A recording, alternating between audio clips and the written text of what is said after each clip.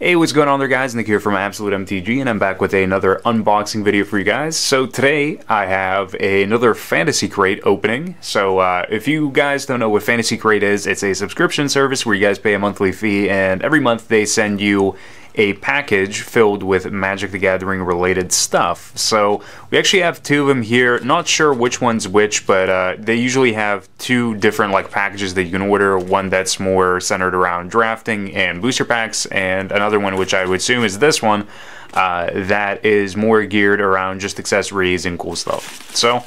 Uh, let's open this on up. I'm fairly certain, just based on the shape of this, that I know exactly what it is. At least one of the contents of this, because it seems to be a seems to be a binder, but we'll see. So we'll see just what all we get inside of here. Alright, and it is binder. So anything else on the inside of here? Nope. What all do we have? So within this binder, we also have some boosters. So we have the Ultra Pro Origins 3 ring binder, which MSRP is at $24.99 and they pay roughly $10 for, and the Magic Packs that MSRP at 16 bucks and they pay, well, again, roughly 10 bucks for them. So we do have the uh, the packs of Origins here and the three ring binder, which I actually don't remember how much we sell this at the shop. For those of you guys that don't know, I actually work at a card shop. Not entirely sure how much we sell these for. Uh, really don't remember, but these are cool nonetheless. Uh, I prefer like binders that actually have uh, the pages like actually built in and uh, made into them, like uh, monster binders, ultra pro binders, and whatnot.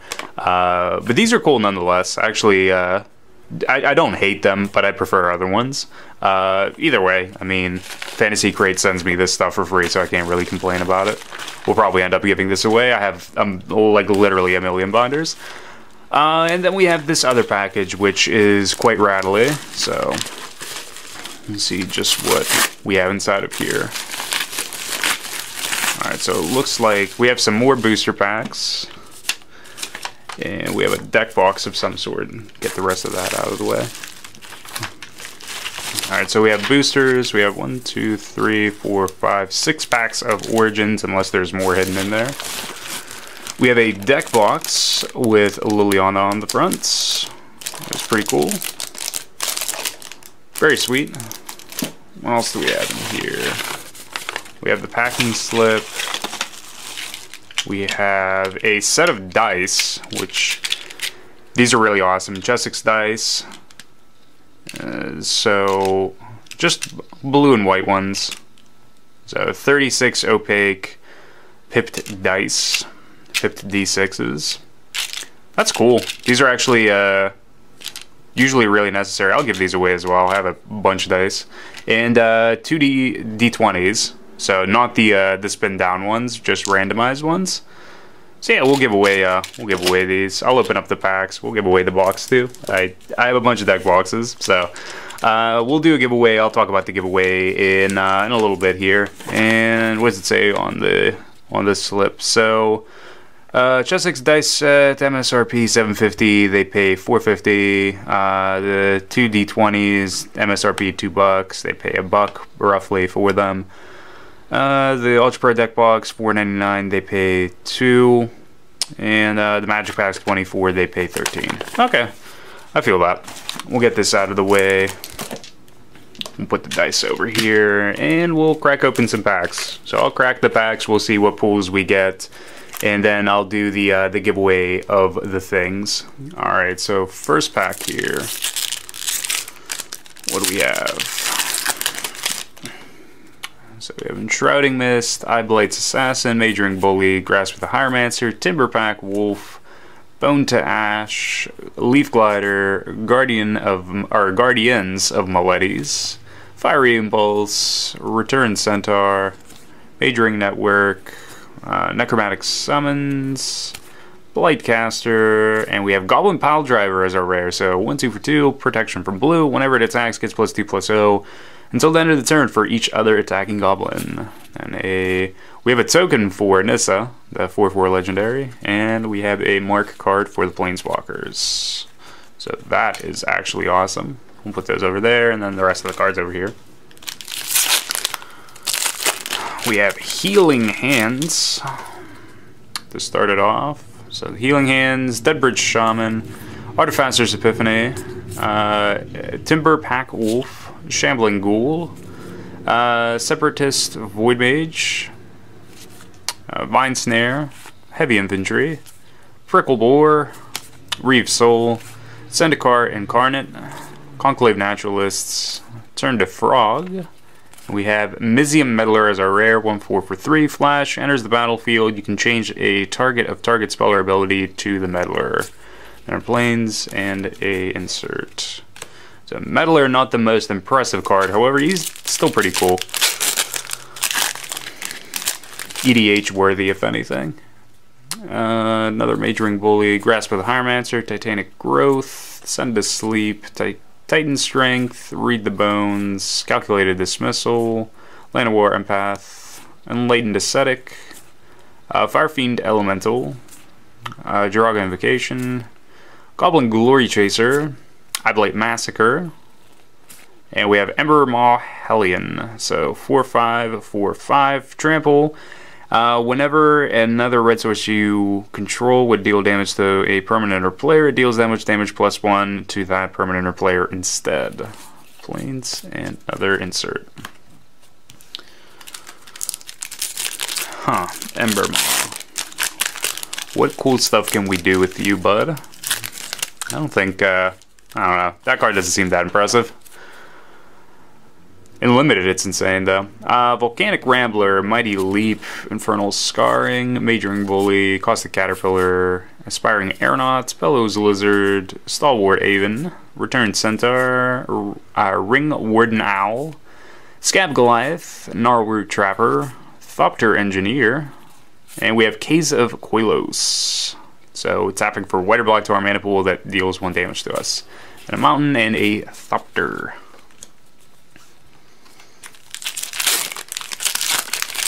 It's really disappointing that uh, we got the Pain lands back again um, for this core set, just because I would. I don't know. Uh, for some reason, I'm super greedy and wanted the filter lands back, but uh, that's definitely not going to happen. But uh, the the pain lands were just kind of disappointing because we already had them, and now they're just super super dirt cheap. Like they're a buck to two bucks at most a piece. Uh, we have a tutelage. Tutelage is awesome. Conclave Naturalists. War Oracle, and Animist's Awakening. I actually really like this card, especially for like uh, having some fun with EDH. Sorcery, X and 1 green, reveal the top uh, X cards of your library, put all lands from among them onto the battlefield tapped, and the rest onto the bottom of your library in a random order. Uh, spell Mastery, if there are two more instants and or sorcery cards in your graveyard, untap those lands. Uh, planes and uh, insert. So we'll actually pull out the Sphinx's Tutelage, because that is awesome. Sphinx's Tutelage is also a couple bucks too. I think it's like two bucks. And I can't imagine that that card's not going to see play until it's uh, finally out of standard.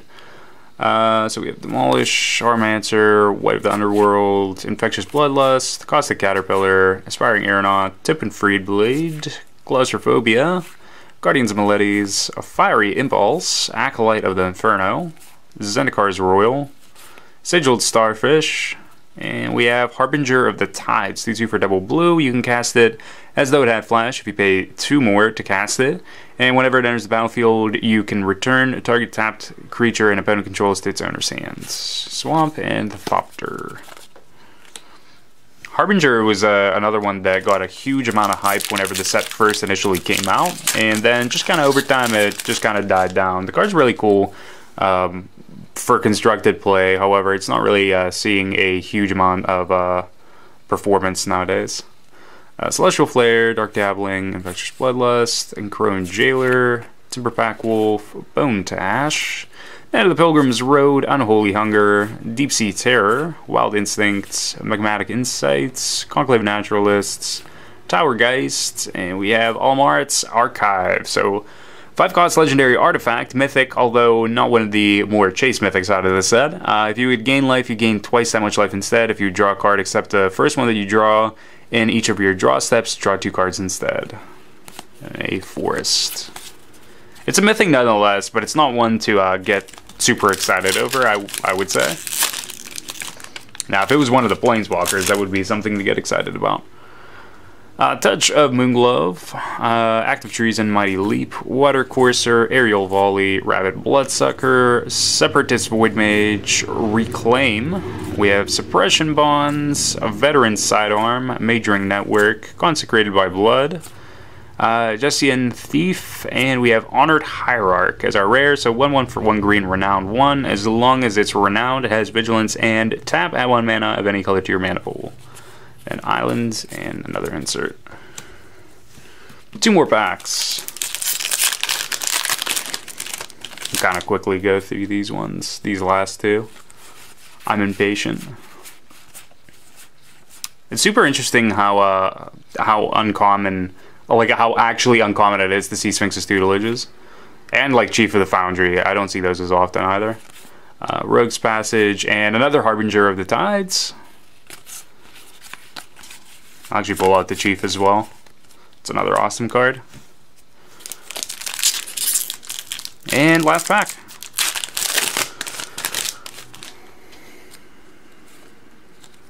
Alright, what do we got? What do we got?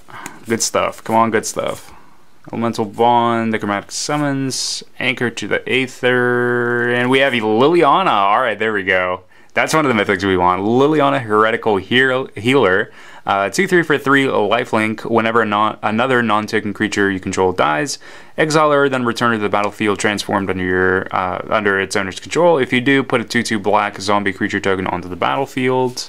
And we also have a uh, mark card to go alongside it. And on the other flip side, uh, plus 2 each player discards a card, minus X return target non legendary creature card with CMC X from your graveyard to the battlefield. And minus 8, you get an emblem with whenever a creature dies, return it to the battlefield under your control at the beginning of the next end step. Very, very cool. Very awesome to get a uh, Planeswalker just to uh, to wrap things up here. And an Elf Warrior. These Elf Warriors are pretty cool as well. But uh, really, really sweet pack opening. A lot of really, really cool stuff. Definitely can't complain about it.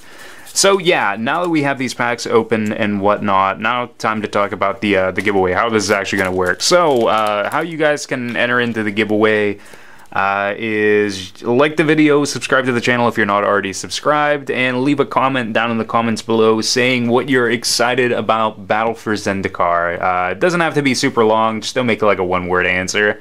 Uh, yeah, what you're excited about for Battle for Zendikar, we'll give away the the binder, the deck box, and the uh, the dice, the uh, the two D20s and the set of uh, D6s, the 36 D6s. So we'll give away all of that in a giveaway here. Um, and yeah, just one comment, only comment once. That way I can actually use a program to find a one winner that only commented once and uh, randomly select from you guys. But yeah, uh, like the video, subscribe to the channel, and leave a comment down in the comments below saying what your favorite thing or thing that you're looking forward to in Battle for Zendikar is, or if there is nothing yet, something that you hope will be in Battle for Zendikar. Uh, we already know that we won't have the fetch land, so that's already disappointing, but don't worry about it, something else. So thank you guys for watching, and until next time, peace out.